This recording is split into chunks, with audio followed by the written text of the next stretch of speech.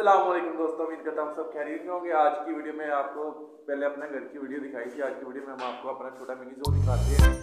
हैं। ये अब्दुल्ला भी हमारे साथ आज आया हुआ है। तो ये मूसा भी है ये लगा हुआ है। पुलिस के साथ तो मैं आपको दिखाता हूँ।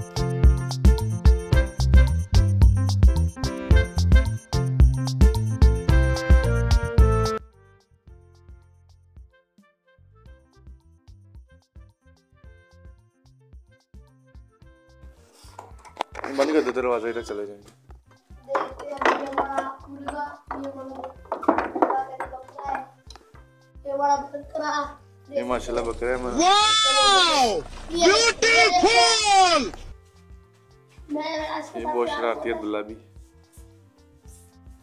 इधर सकते हैं माशाल्लाह माशाल्लाह माशाल्लाह बाकी ये हमारा तो ये सर्दी से बचाने के लिए हमने आगे पर्दे लगाए हुए हैं। बाकी आपको सारी बकरी वगैरह दिखाते हैं इनशाला कुछ ही देर में दिनों में हमने इंशाल्लाह यहाँ पे काफ़ी बड़ा कर देना अपना मिनी जू ठीक है?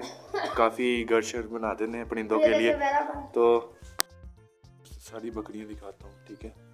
ये हमारा बकरा है माशाल्लाह ये आपको बैठ दिखाया था पहले। ये हमारा है आपका नहीं। है आपको दिखाता हूँ अभी ये इसके चारा खाने के लिए बनाई गया हमने।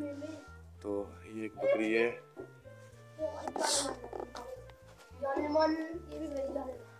भी बाकी बकरी ये। माशाल्लाह। ये ये भी है नीचे। ये हमारी सबसे पुरानी बकरी है ये हमारे सात साल से पुराना बकरा है। ऊँची बोला आवाज़ नहीं आ रही होगी ये हम जोड़ा लेके आए थे ये और ये। ये जोड़ा था। तो इन्होंने गंद बहुत डाला है।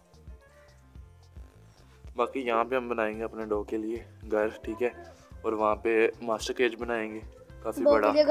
और ऊपर कबूतरों के लिए बनाएँगे ठीक है? बाकी ये पर्दे इसलिए सर्दी होती है काफ़ी ज़्यादा। रात को बिल्कुल कवर कर देते हैं इसे आगे से कि सर्दी अंदर ना जाए। मैं आपको बाकी दिखाता हूँ सारा। हमारा डैडा बैठे हुए। बाकी वहाँ से रोशनी आ रही है इसलिए क्लियर नहीं नज़र आ रहा। तो पर्दे वगैरह आगे से हटाते हैं फिर मैं आपको दिखाता हूँ। क्या बीच बीच में से लोग स्टॉप किए। तो चलते ही हमने मास्टर केज बनाया है। सॉरी सेफ्टी रूम बनाया है यहाँ पे। जब ज़्यादा सर्दी वगैरह होती है तो बकरियों वगैरह को यहाँ पे ले जाते हैं। तो बाकी आपको, बाकी जो घर दिखाया था पिछली वीडियो में, मैं आपको सारा दोबारा से दिखाता हूँ। तो अभी काम वगैरह कोई स्टार्ट नहीं हुआ। तो मेन मेन मैं आपको दोबारा दिखा बाकी वो सामने हमारा स्टोर भी है और सेफ्टी रूम भी है, ठीक है? ये साथ ही बकरियों के आगे पर्दे वगैरह लगाए हुए हैं सर्दी के लिए। बाकी इंशाल्लाह हमने ये छतों पे, ये जो साइडों पे लगे हुए हैं, स्पेस फेस दिया इन्हें पेंट करना है सब टीयर गार्डरों को। तो इंशाल्लाह नेक्स्ट व्लॉग में ये आपको दिखाएँगे बरांडे में और कमरों, सभी मतलब कि कमरों वगैरह में हमने पेंट करना है।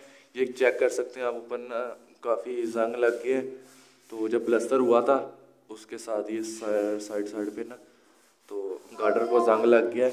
तो सारे कमरों पर और किचन में, बैठक में सभी हमने पेंट करना है। फिर मैं आपको अगले ब्लॉग में दिखाऊँगा। बाकी चेक कर रहे काफ़ी ज़्यादा और अगली, उससे नेक्स्ट व्लॉग में इंशाल्लाह बैठक में पेंट करेंगे सीलिंग वगैरह करेंगे, आपको वो भी दिखाएँगे। तो उम्मीद करता हूँ आपको आज का व्लॉग पसंद आया होगा तो जल्दी से वीडियो लाइक कर दे और चैनल सब्सक्राइब कर दें। इंशाल्लाह और भी नेक्स्ट अच्छे अच्छे ब्लॉग आते रहेंगे। हम अपने मिनी जो में ज़्यादा से ज़्यादा बड़े बड़े घर बनाएँगे, परिंदों के लिए, इंशाल्लाह इसके बाद पहले हमने डॉग के लिए घर बनाना है। और सर्दी काफ़ी है, जैसे सर्दी कम होती है तो इंशाल्लाह बाकी जानवरों के लिए घर बनाएँगे। और आज की वीडियो आपको